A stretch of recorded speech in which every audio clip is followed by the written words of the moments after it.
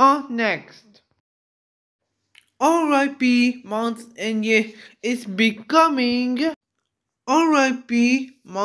year. teenager.